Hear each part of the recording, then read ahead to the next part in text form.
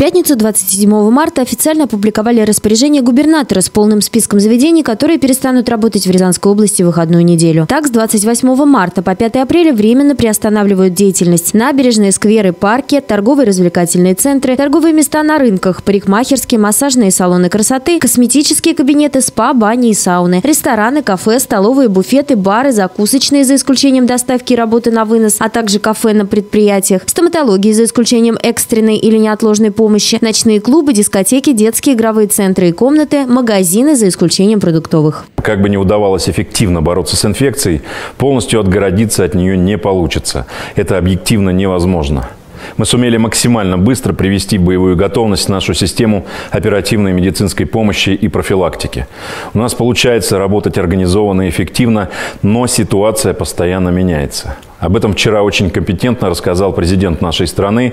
И, как вы знаете, глава государства принял целый ряд очень важных решений по реагированию и необходимым мерам социальной поддержки. Отметим, что работу продолжат супермаркеты, аптеки, магазины с товарами первой необходимости, в том числе в супермаркетах, заправки и магазины с кормами для животных. Что касается парков, при службе администрации пояснили, что на входе появятся предупредительные таблички и оградительные ленты. Контролировать запрет на посещение зоны отдыха будет полиция. Я предполагаю, что некоторые люди во время объявленных каникул захотят выйти из дома, собраться и отдохнуть в общественных местах. А это, как вы понимаете, в сложившихся условиях опасно для здоровья и жизни всех без исключения.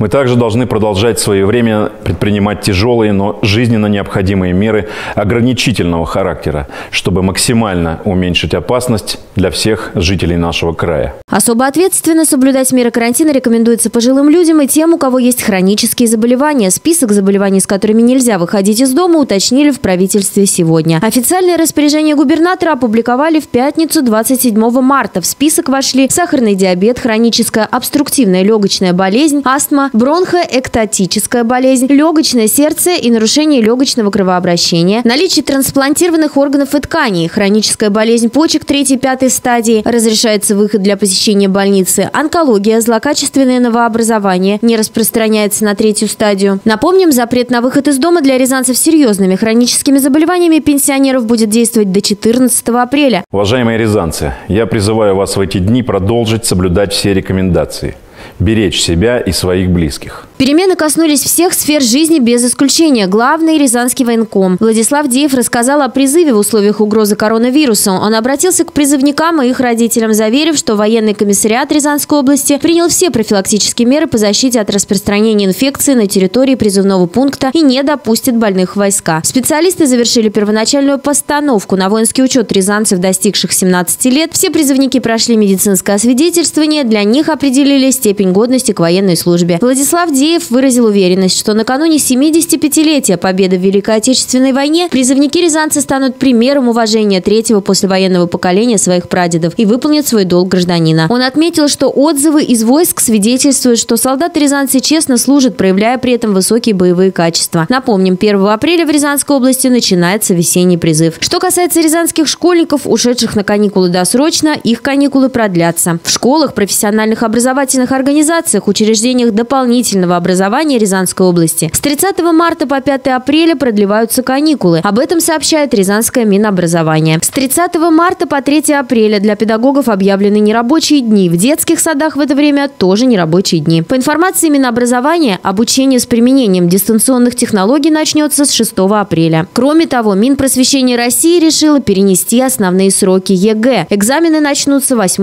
июня. Нового графика проведения ЕГЭ на момент публикации новости нет. Ранее в Госдуме предложили перенести экзамен на август.